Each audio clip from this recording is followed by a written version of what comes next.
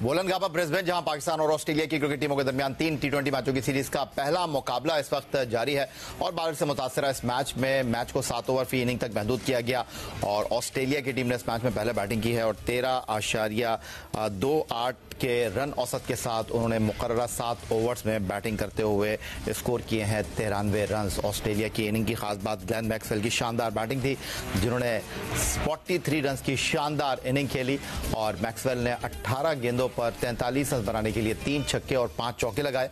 मजमुई तौर पर ऑस्ट्रेलिया की इनिंग की अगर हम बात करें तो नौ चौके और छह छक्के इस इनिंग में लगे। और पाकिस्तान ने चार बॉलर्स का इस्तेमाल किया, शाहीन शाह, अफरीदी, नसीम शाह और हारिस रऊफ ने इस मैच में दो दो ओवर किए और एक ओवर जो है वो करवाया गया अब्बास आफरीदी से। तो एक कड़ा मुकाबला है, एक मुश्किल मुकाबला है और वनडे सीरीज़ 22 साल के बाद ऑस्ट्रेलिया की सरजमीन में ऑस्ट्रेलिया में जीतने वाली टीम पाकिस्तान मोहम्मद रिजवान की क्यादत में क्या टी सीरीज़ में सुरखरू हो सकेगी? सात ओवर की बैटिंग में चौरानवे रन का टीम पाकिस्तान को मुश्किल हदफ मिला है। कई नए खिलाड़ी इस टीम का हिस्सा हैं और टी क्रिकेट के जो जाने माने क्रिकेटर्स हैं, वो इस टीम का हिस्सा हैं। हसीबुल्ला को और उनके साथ सलमान अली आगा, जो कि पाकिस्तान टीम के वाइस कैप्टन हैं, उनको टी डेब्यू कराया गया है। साहबजादा फरहान आज का मैच खेल रहे हैं। और अब देखना यह है कि पाकिस्तान टीम ऑस्ट्रेलिया के चौरानवे रन के हदफ के ताकुब में किस तरह की कारकर्दगी का मुजाहरा करती है। जो कारकर्दगी रही है, इसमें तो मार धाड़ ही होनी थी। और कुछ अख्तामी ओवर में पाकिस्तान की फील्डिंग का जो स्टैंडर्ड था बाउंड्री पर मिसिंग हुई, कैचेस भी ड्रॉप हुए। शायद ये 93 ना होते, लेकिन अब 93 हैं। देखिए लास्ट ओवर में 20 रन बने 73 हमने फिनिश किया था छठे ओवर में अख्ताम पे। उसके बाद 73 से 93 उसमें तीसरी बॉल पे कैच उठा जिसमें दो रन भी बने। पहली बॉल पे चार रन बने मिस फील्डिंग हुई। और, वो बाबर आज़म थे, फिर इरफान थे तीसरी बॉल पे कैच स्टॉइनस का छूटा है। दो रन बने, फिर नेक्स्ट बॉल पे फिर दो रन बने। फिर छक्का, फिर चौका। मेरे ख्याल से ये बहुत इम्पोर्टेंट जितना मैच छोटा होगा ना फील्डिंग की इम्पोर्टेंस उतनी ज़्यादा बढ़ जाती है। और, आपको थोड़ा सा अंदाज़ा होना चाहिए कि आपका डेथ बॉलर कौन है? तो हमें मुझे काफ़ी अंदाज़ा था कि अब्बास आफरीदी जो है, वो ज़्यादा अच्छी बॉलिंग कर लेते हैं डिसीव करते हैं एयर में बाउंसर भी अच्छा है, उन्होंने विकेट भी ली और रन भी कम दिए। शायद ये ट्रिक मिस कर गया पाकिस्तान इस छोटे मैच में। अहमद, जिस तरह अब्बास आफरीदी की बात की, राशिद लतीफ साहब ने, उनके हवाले से मैं आपको बड़ी दिलचस्प बात बताता चलूँ। डेब्यू उन्होंने शाहीन शाह अफरीदी की कप्तानी में किया। वर्ल्ड कप, वो बाबर आज़म की कप्तानी में खेले। अब ऑस्ट्रेलिया में पहली बार वो रिजवान की कप्तानी में खेल रहे हैं। तीन सीरीज़, वो तीन मुख्तलिफ़ कप्तानों के अंडर में खेले हैं। और जिस तरह राशिद लतीफ साहब बात कर रहे थे, हमारे जो टॉप क्लास तीन बॉलर्स की तिकोन है, Shaheen, Naseem and Haris, eighty six run इन्होंने छह ओवर्स में दिए एट्टी फोर रन और जो डेथ बॉलर की बात कर रहे हैं अब्बास आफरीदी की उनकी छह गेंदों पर नौ रन बने और दो विकेटें लेने में वो कामयाब भी रहे। जी, हमने स्टार्ट थोड़ा सा कैजुअली किया। बार बार देखने को मिला है कि पाकिस्तान की तरफ़ से जैसे ही बारिश वगैरह कुछ होती है तो स्विच ऑफ़ ही रहते हैं और अंदर आते हुए बड़ी मीटिंग्स की जाती थी हमारे दौर में भी कि यार खुदा का वास्ता जाग जाना। तो वो हमें, वो जो फ्रॉम द वर्ड गो था अपने फास्ट बॉलर्स की तरफ़ से, वो मिला नहीं। शाहीन की तरफ़ से दो हाफ़ बॉलिंग हुई जिसपे उनको आते साथ ही एक अच्छा स्टार्ट मिल गया और उसके बाद जो है नसीम शाह भी यू नो उस सिप के साथ नज़र नहीं आया आज पूरे इस मैच के अंदर, चाहे उन्होंने दो ही ओवर किए हैं। तो कहीं ना कहीं हारिस रऊफ ने एक दफ़ा फिर आके जो यू नो उसके बाद ओवर किया है, उसमें सिर्फ़ गालिबन उन्होंने तीन रन दिए हैं। तो खाली हारिस रऊफ की ज़िम्मेदारी नहीं है अपनी बॉलिंग को संभालना, पूरा बॉलिंग डिपार्टमेंट बॉलिंग यूनिट को जो है ना मिलके काम करना है। एट द सेम टाइम बड़ी अच्छी मुझे मुझे यॉर्कर नज़र नहीं आए।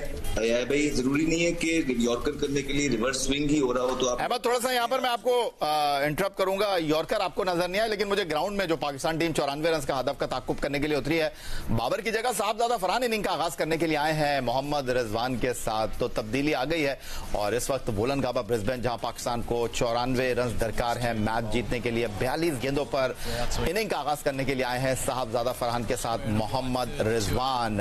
और पहली गेंद खेल रहे हैं साहबजादा फरहान तो पाकिस्तान के लिए एक चैलेंजिंग मुश्किल हदफ सामने है और पहली गेंद खेल रहे हैं साहबजादा फरहान। कमाल आगाज़ हुआ है पाकिस्तान का, तगड़ा आगाज़ हुआ है। माजिद भट्टी साहब, नौ चौके और छह छक्कों के साथ तिरानवे रन स्कोर किए थे ऑस्ट्रेलिया की टीम ने और साहबजादा फरहान जो डोमेस्टिक क्रिकेट के बड़े अच्छे परफॉर्मर हैं, उनको इनिंग का आगाज़ करने के लिए भेजा गया है। पहली गेंद पर चौका लगाने में वो कामयाब हो गए देखिए, यह लग ऐसे रहा है कि ये टीम वाकई सिलेक्शन कमेटी ने बनाई है, क्योंकि मोहम्मद रिजवान तो इंटरव्यूज़ में बाबर आज़म का ही नाम लेते रहे, बल्कि आज दोपहर को जब हम प्रोग्राम कर रहे थे तो राशिद भाई ने तो बाबर आज़म को नंबर पाँच पर बैटिंग करवा दी थी और अहमद शहजाद बहुत अरसे से कह रहे थे कि भाई और माजिद भट्टी साहब मैं यहाँ थोड़ा सा आपको रोकना चाहूँगा क्योंकि साहबजादा फरहान तो बिल्कुल रुकने के मूड में है ही नहीं।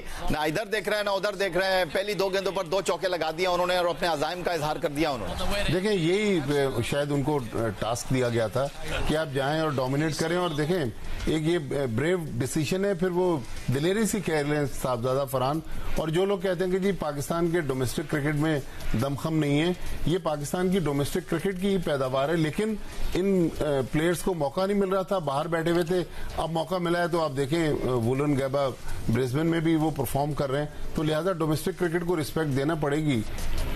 अहमद आपकी तरफ़ आ जाता हूँ। साहबजादा फरहान इनिंग का आगाज़ करने के लिए आए हैं और दो गेंदों पर आठ रन उन्होंने बना लिए हैं। और बिल्कुल वो आओ देख रहे हैं ना ताओ देख रहे हैं, क्योंकि अब हमारे सामने जो चीज़ें हैं वो यही है कि हमने इसी तरह बैटिंग करनी है, बस। नहीं एब्सोल्युटली ब्रिलियंट आई मीन पहला मैच खेल रहा है, पहले मैच के दोनों बॉल्स पे दो चौके जो लगाए हैं उसने I think it shows the confidence ज़बरदस्त अप्रोच है और ये अप्रोच हमें नहीं समझ आई कि पहले कहा थी। हम तो पहले से बोल रहे हैं कि पाकिस्तान पीछे रह गया है। कोई मसले वाली बात नहीं आउट हो जाए, कोई चक्कर नहीं है। लेकिन वो अप्रोच नज़र आनी चाहिए, जो कि आज साहिबजादा फरहान ने आके हम लोगों को दिखाई है। माजिद भट्टी साहब, एक और विकेट गिर गई है पाकिस्तान की। पाकिस्तान टीम के wicket keeper batter Mohammad Rizwan तेज खेलने की कोशिश में अपनी विकेट गंवा बैठे हैं। और मोहम्मद रिजवान की विकेट का नुकसान पाकिस्तान को हुआ है। 12 पर पाकिस्तान का ये दूसरा विकेट गिरा है। और मोहम्मद रिजवान जो कि साहबजादा फरहान के साथ इनिंग का आगाज़ करने के लिए आए थे, दूसरे ओवर की पहली ही गेंद पर वो कैच आउट होकर वापस लौट रहे हैं। जी, माजिद भट्टी साहब। तो मैं यही कह रहा था कि किसी एक सीनियर को यहाँ पर वो रोल प्ले करना होगा जो ग्लेन ग्लेन मैक्सवेल ने किया। अब मोहम्मद रिजवान तो चले गए। अब मेरे ख्याल में बाबर आज़म के कंधों पर भारी ज़िम्मेदारी है और चूँकि काफ़ी अरसे से बाबर आज़म कोई match winning match winning knock नहीं खेल सके तो आज शायद उनके लिए आइडियल कंडीशन है।